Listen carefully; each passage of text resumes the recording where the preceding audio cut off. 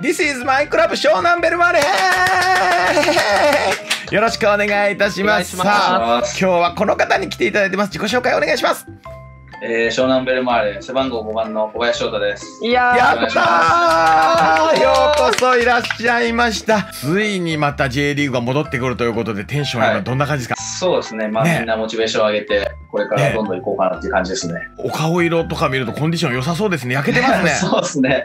最近日差しが強いんで、ねこんがり焼けてきてます。はい。結構どうなっちゃうのかなって結構思ってたんですけど、ええまあ徐々に、まあ最初はコンディションとかすごい難しかったですけど、はい。はいまあ徐々に本当に、えー、何週間ぐらいだ、まあ3、4週ぐらいしてから、はい。まあ体を動かしながらうん自分と向き合って、そういう時間でしたね。なるほど。いろいろ得たもんとかもあるんじゃないですか？休憩そ中にね。うですね。やっぱり、うん、なかなかこう、長い期間、2ヶ月も休むことないんで、うんいろんなことを考えてましたけど。もう今ではね、小林選手、宇宙空間で呼吸ができるぐらいのね、そうですね。やっぱり、そんぐらいの、そんぐらいまで来ちゃいました。心肺、心肺機能の方がね。はい。そうですよね。てきました。例年と特に変わった今年の推しポイントなんてところがあれば教えていただきたい。南のね。はいはい。そうですね。まあ、やっぱり今までと同様に、えー前に速いサッカー、切り替えの速いサッカーを重点に置いて、えやっぱりこう、えー前に速くだけじゃなくて、えーやっぱり地高に出た時にいかに攻めれるかっていうところは今年突き詰めてやってるんで、そういうとこはいっぱい見てほしいですね。もう湘南と言ったら小林選手ですもんね。いやいもうそれは。そんなことないです。よ。だってもう本当にちっちゃい頃からですもんね。はい。そうですね、小3からですね。賞賛ですよね。ねえ、どどんな感じなんですか？そのずっと。ねまあ移籍はありましたけれどもこう戻ってきて、キャリアのね充実した今はい。その力になってるという気持ちですけれども、ね。そうですね、まあ、憧れの世界に入れて、まあ、ショはい。ーベルマーレずっと活動してがいたんで、まあ、はその最初はすごい嬉しかったですけど、うんうん。はい、今こう、どんどん年を重ねてってい、はい。いろいろな重圧もありますけど、大変ですけど、いやまさかねこんなサッカーができなくなる時期が来ると思わないはですからね。い、そうですね、はい。どう過ごしてたんです、まあ、トレーニングもちろんしてたと思うんですけど、はい、はい、そうですね、やっぱり自主トレってなるとこう、うん。人のところをやっぱ避けなきゃいけない。んで、そうですえね、そうですね、僕だったら夕方あたりにこう家を出て、まあ、ランニング、はいはい。まずランニングから始めて、はい、うん。そうですね、やっぱり湘南なんで海が近いんで、いいですね。そうですね、なるべはい。く人がいない砂浜を見ながら、うん。砂浜を一人でダッシュしたり、えあー。すごい。初めの一歩みたいな。そうそう、ね。もう一人で孤独の中、やっぱり雨の日ってあんまり海いないから、あー。あー。ちょちょっと雨の日のが逆に人がいなくて、わ一人で走ってたりとか、そういうのはやってましたね。えー。とくる話だね先生ねこれ ね。ね。だってチーム練習できない中試合もいつなるかわかんない中コンディションを保つってはい。大変なことですよねモチベーション含め。いや、そうですね、今まで経験ないことなんで、まあ、いつ始まるかもわからないですうんし、そこはすごい難しかったです。ねチーム内とかこの監督さんやらあので話し合いとかあったんですか？こういうふうに過ごそうぜとか。そうそうですね、最初にもう中断になった時にどうトレーニングするかとか、メニューとかはしっかり渡されて、まあ本当先が見えなかったんで、どういう状況になるか分かんなかったですけど、そのメニューをこなしながら、うん。徐々にこう自主トレとかも始まりながらって感うん。どうですか？ご自身はコンディション。太ももあの5センチ大きくなったとかあるんですか？じですね。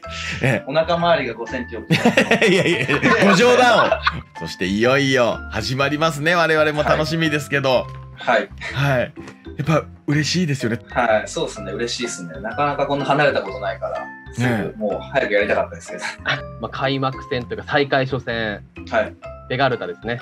はい、小林選手。古巣の。そうですね、古巣なんですよね。そっかそそうっですよかね。どうですかそのあたり？そうですね、まあやっぱり古巣対戦って結構特別なものがあって、えなかなかこう、気張りすぎて動けなくなることもよくないですし、まあ本当いかにリラックスしながらっていうのもそうなんですけど、ただまあ気合気合は入ります。ー、なんかこう聞くのはあれなんですけど古巣対戦の時に結構結果残してるイメージが僕あるんですけどもあ、本当ですか？なんかな例えばしょあのーは名古屋在籍時に湘南戦でアシストとかありませんでしたっけ、い。いや、覚えてないです。栄光はね栄光はもう過去に置いてくるタイプですからね小林選手は。そうですね、未来を見据えて。やっぱこう特別な気持ちとかあるわけですか？古巣対戦そうもちろんありますよね。はい。やっぱちょっと硬くなるところもあるんですけど、うんうんまあ、ベガルタ仙台戦だと、やっぱり石原直樹選手とかもそうですよ大岩選手もそうだし、そうですよね。はい。やっぱ気合は入ってますね、みんな。あだからね。逆に言うとお互いをこう知ってるね関係性同士ですから、はうまく。やり、めちゃくちゃやりづらいですね。ーサポーターのとこ行くでしょ？はい。特にあの、はい移籍して初めての試合とか、はいあれって正直ちょっと緊張してちょっと嫌なもんですか？いや、どそうでもないです。まあ、やっぱりあったかい、まあ、湘南から名古屋に移籍した時は、やっぱりあったかいチームって、もう昔からいるんで、分かってたんで、うんまあ、行きやすかったですけどね、すごく。ああそうですかはい。で、去年だと仙台のやっぱサポーターもすごい温かいんで、うんうんうんうんまあ、でも挨拶ししやすかったです。け結果的にあったかかった記憶はありますけど最初行く時はねひょっとしたら、ひいや、まあそれょっとしたらはありますよ。ありますよねそれはね今の。チームスタッフ含めはい。一番長いわけですよね要はこのエンブレムに関わってそうですね。スタッフ陣っていうか、あのフロントの人たちは結構いる、まああいる人もいるいるんですよ。ははい。そうですね。その遠藤幸恵さんもそうですけど、そうですあよね。はい。はい。昔から。そっかはい。そっか。ちっちゃい頃から知ってもらってるようなそうですね。感じなんですね。だから、すげえガキンチョの頃からおそお世話してもらってるんで、多分親親みたいな感じ。ああいいですね。なんかそんな感じまず湘南って特に強いですよね。なんか家族って感じがあるので。すごいアットホームなチームですね。やっぱいろいろなチーム回ってきても湘南のそれっていうのは全然違いますか？そうですね。やっぱり、なんて言うんだろうな、うんそこまで大きくないチームですけど、やっぱりそういう中でこう、育まれてきたチームというか、うん。やっぱいろんな人の支えがあってできたチームなんだなっていうのはすごい感じますね。そんな小林選手から見て、それこはい。そジュニア、ジュニアユース時代からまあ育ってきてですけど、はい。逆に今度いわゆる、まあ、斉藤美月選手とか石原選手とかもそうだし、こう若い世代で同じような経験してこうあの上がってきたような選手多くなってきてるじゃないですか。はい。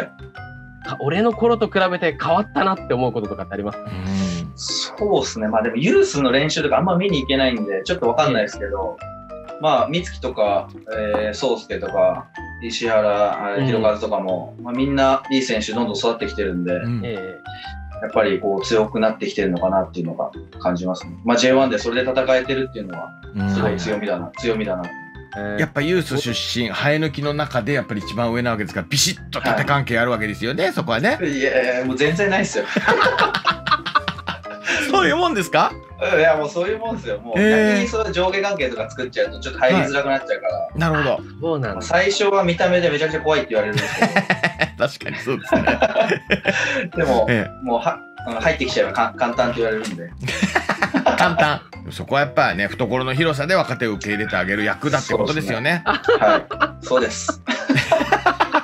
逆にそうしてもらってきたってことですもんねそうですね。だから僕も先輩と絡む機会が多かったんで、はいそうしてもらもらってきてるからこそ、下にはそうしてあげようと。今年にねこんな日程になりますけれどもどんな気持ちで臨まれます？この湘南スタイルでこの過密日程はい。これ気になるところだと思うんですよファンは。ね。そうですね、やっぱり、えー中、えー、3日とか中2日とかが、うん。ずっとずーっと連戦で続いてくるんで、やえ。っぱりこう、まあ、交代人数とか増えましたけど、えうん。はい。あそうですまあ、ね総力戦になってくると思うんで、まあ、そこはやっぱりチーム、えー一丸となってやっていきたいですけどね、みんなで。戦い方なんかもやっぱり変わってくるでしょ？いや、どうなんですかね、やっぱり湘南スタイルはこうはい。継続しながら、まあやっぱり、はまあ、なんだろうな、難しいですけど、まあ、そこは変えずに、い、うん、いかにこう戦えるかっていうのは大事になってくるのかなと。期待しますよねよりはいねえ。より魅力的ですよねこの過密日程の中であのスタイル継続っていうのはね、そうですね、あの中でも走り続けられたっていうのはすごい自信になるのかな。うん、やります。いやお願いします。やった。宣言継が。続宣言。今年はこの俺のこのプレーを見てくれってのがあれば。そうですね、やっぱり去年もそうですけど、やっぱりこう縦に速い、えー動きでクロスだったりとか、えードリブルからクロスだったりとか、去年あんまり点決めれなかったんで、ええ。ーそこは貪欲に点を決めれるような選手になっていきたいなと。まあ、クロスはアシストで、えいや、そうですよね。ねはい、去年のトス戦のゴールもかっこよかったですよね。た魂のガッツポーズをまたしたまたま転がってきただけで。休みの間にこうはい。ちょっとこれこれハマったよみたいのあります？あ韓国ドラマは見てましたね、奥さんと。あ。子供を寝かした後に。ね。これはねこのシリーズどの選手に聞いてももうねあ韓国団見てましたっていうかちなみイに。テウォンクラスは見てました。いやー！ハイタッチいやセロ良かったですよね。バクセロイ良かったですねはい。あれも髪型にしようかなと思ったんですよ。主人公のね嫁に行ったらやめてって言われました。い いがぐりヘアなんですよはいまっすぐしてようかな。いやーそうもうねあれはでもこんな期間じゃないとなかなか見れないですもんねそうですね。あんなシリーズもえなかなかね、ゆっくりこう見れないんで。よかったですねあんなあんなのシーズン中ははまったら大変ですよそうですね。やっぱりね全泊でちょっと見れるぐらいなんで。ああそうねあはい。一つずつねそうですね。一つずあつ地道に見るぐらい。やっぱり選手の中でこれ面白いよとかこれ見たとかなるわけですか？そうですね。結構そういうのはいっぱいありますね。へでも外出れなかったですもんねそうですね。外出れないから、やっぱり子供と遊ぶことに対してのスキルアップは大事。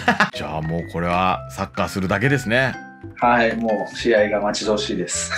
ねでもはいバチッと決まりましたからちょっとすごいカレンダー出てきましたけどねはい。そうですね。ーうんこれはしんどいなっていうよりもワクワクの方がいやー、しんどい ですね。そりゃそうですよねそりゃそうですよね楽しみはいっぱいあるんで嬉しいですけど、まあ、どう戦うかとか、本当ですねどんどん。はい。どう要は2チーム体制といいますかなんかこうターンオーバー体制みたいなことですよね、どうなるのかわかんないです、ね。監督に聞いてみないと。まだその辺は明らかになってそうないですね。やっぱりでも総力戦だと思うんで、えまあ、2, 2チームとかではなくて、まあ、うん。コンディションいい選手だったりとか、なるほどそう組み合わせとか、そういうのは言ってましたね。うんうんうん監督もうんあのぜひここ出ていただいた選手皆さんに言ってるんですけど過密にって全試合出ていただきたいなと ね頑張ります。湘南の右は俺だと。は いそうです。ねはいはい石原でもねえ、なんならドイツでもねえっていうところ。ね左もやっちゃいます、じゃあ。そうですね。えーまあ、なかなかこうコロナの影響で、なかなかサポーターの方とかも、えー歯がゆいシーズンだと思うんですけど、やっぱり、えー一緒になってこうやれる日がもうもう少しで近づいてきたんでそうで、すね。えーそうなった日にはみんなで、えーえー笑顔を いっぱい見せれるように僕たちも頑張るんで、えーまあ、頑張ります。ありがとうございます